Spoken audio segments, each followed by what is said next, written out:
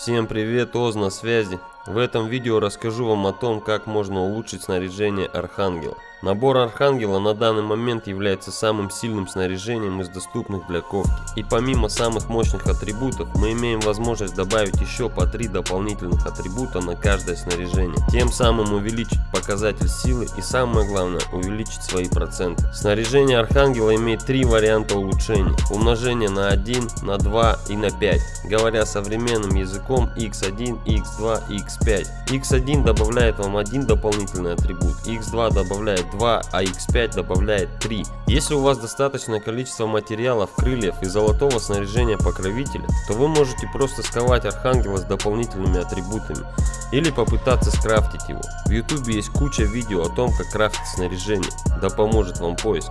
Но если сковать или скрафтить не получилось, и вам выпал один атрибут, а вы хотели два или сразу же три, то на помощь придет гравировка. Это нанесение дополнительного рисунка на снаряжение, которое добавит нам не те самые доп. атрибуты. Для гравировки нам понадобится гравюра, которую получить не так-то просто. Точнее, получить ее просто. Нужно всего лишь выполнять ежедневные задания. И раз в неделю в последнем дополнительном сундуке мы будем получать по одной гравюре.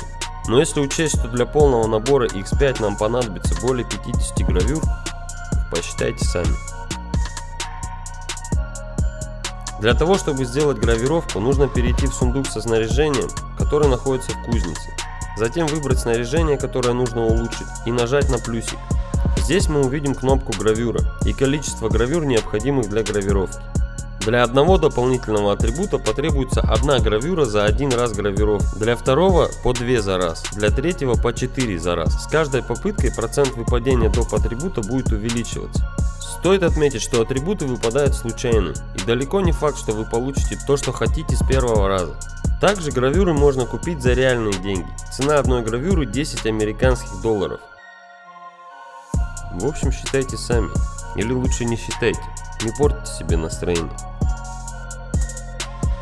Есть одна маленькая недоработка в интерфейсе гравировки. Вы можете не видеть процент активации коэффициента. Чтобы увидеть этот процент, вам нужно сменить язык в настройках телефона. Обратите внимание, не язык игры, а язык самого телефона. Зайдите в настройки вашего аппарата и найдите настройку языка. У меня сейчас стоит английский язык на моем устройстве, и я вижу процент активации.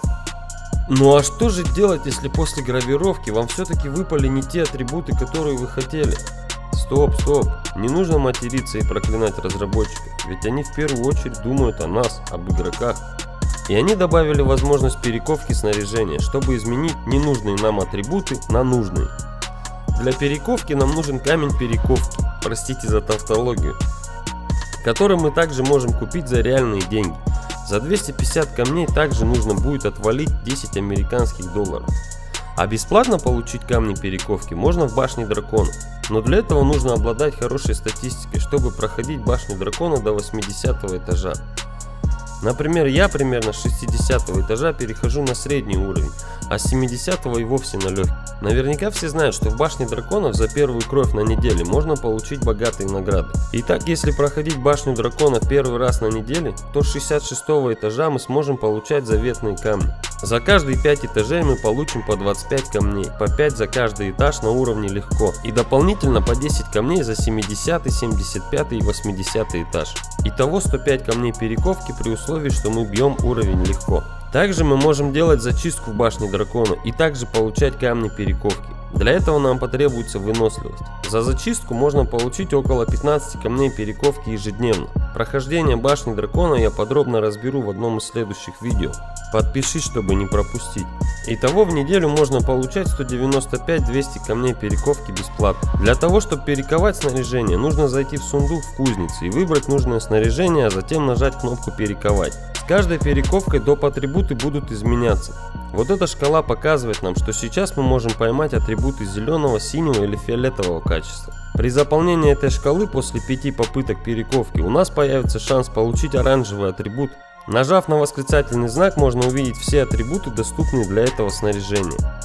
За одну попытку перековки скипетра, штанов или брони с вас спишут 250 камней. А за попытку перековать сапоги, шлем или кольцо вы потратите 350 камней перековки. Итак, можно сделать вывод, что гравировка и перековка снаряжения Архангела – это дорогое удовольствие, и если вы имеете возможность, то лучше сразу ковать X1, X2 или X5. Надеюсь, я все рассказал понятно, но если у вас возникли вопросы или я что-то не сказал, обязательно напишите в комментариях, будем разбираться вместе.